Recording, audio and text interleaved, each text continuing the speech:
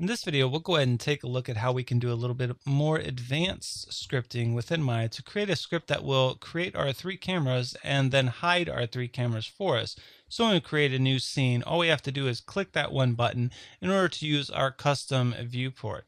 So let's go ahead and take a look how we can do that. We'll open up the script editor so go ahead and click the script editor window button and then we'll go ahead and look at how we can create a camera. So again, everything you do in Maya you can do and then watch it occur inside the script editor, right? That's the logic behind what we covered in the previous lesson. So let's go ahead and try it. We'll go up to panels. We will drop it down. We'll go to orthographic, go to new, and we know we needed a bottom camera. So let's go ahead and select bottom. And as I can see, I've created the bottom camera, but nothing was echoed.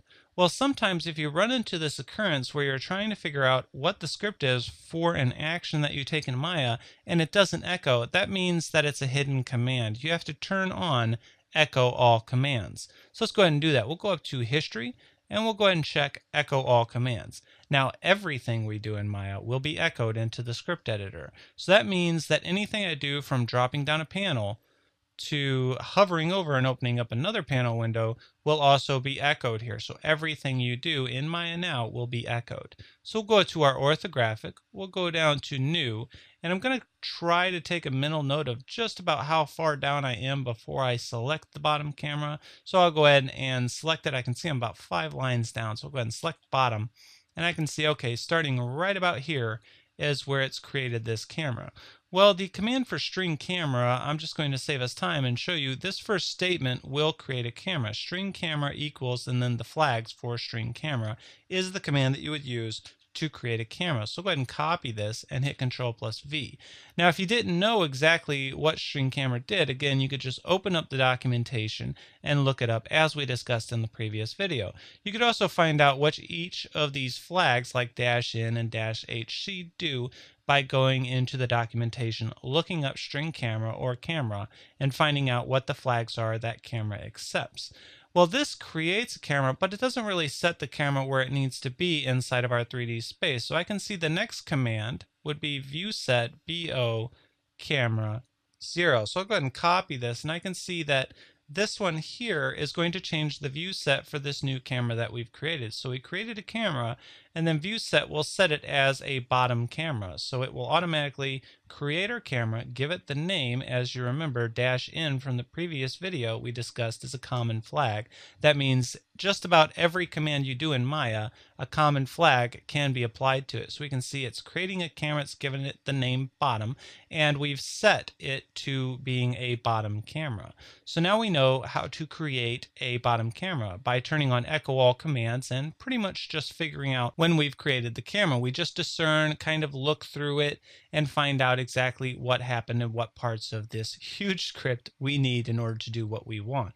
So that's all I've done there. So let's go ahead and clear the window and let's create another camera. We'll go ahead and come up here, clear our window, then we'll come up here and create the back camera. So I'll drop down panels, go to orthographic, go to new, and I'll go ahead and select back. Again, I'm going to make a mental note about how far down I am inside the script editor before I select back.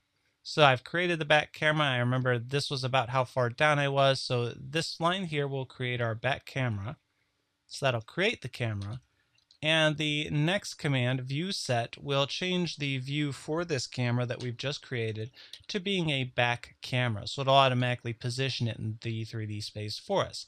Well, now we also needed a left camera. As you recall in our custom view that we created, we added a left side camera. So let's go ahead and clear our commands again and do it once more. We'll go up to Panels, Orthographic, New, and we'll select Left.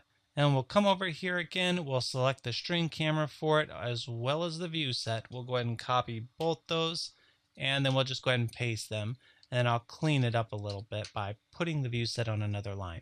And there we go. These uh, three commands here will create our cameras and also set them at the position they need to be as a bottom, a back, or a left side camera. So it immediately create them and then position them inside the 3D space. Well, what else did we want to do? We also wanted to select the cameras and hide them. So let's go into our uh, perspective view here and we'll see what is the command for selecting a camera and then hiding it. So I'll go ahead and clear this all and we could see if maybe this will echo out without the use of the echo all commands turned on. So I'll go ahead and go to history and I'll unselect Echo All Commands. Then I'll clear the window. And I'll go ahead and select one of these cameras and I can see, okay, selecting the camera is Select-R left 1. So if I select this one, this is Select-R back 1. So okay, that's the command for selecting. So I'll go ahead and select the camera and I'll copy this line here. That'll tell me that's selecting the camera for me. So I control plus V and then I also want to hide this camera. So if I hide it, so I'll select it, clear the window here, select it, and then I will hit control plus H. Uh-oh, again, here we have another command that's not being echoed out. So in order to solve that, we'll just hit control plus C, unhide our camera, and then we'll clear the view here, go to history, and drop it down and go to echo all commands. Now we'll select our camera, and I'll make a mental note of where I am, and then I'll hit control plus H and that hides the selected object. So I can see immediately, I look through everything that happened whenever I hit it, and I can see one command here is hide selected objects. Can you guess what that's going to do? I think I can. So I'm going to copy that one there, and it's going to hide whatever I have selected. So I can just go ahead and press enter, select the next camera, and I'll just go ahead and clear this up a bit. So I don't need echo all commands anymore because now I know hide selected objects is the command that hides something. So I'll go ahead and turn off echo all commands, clear the window, and then I'll go ahead and select the camera. And I can see that that's the command for selecting that particular camera.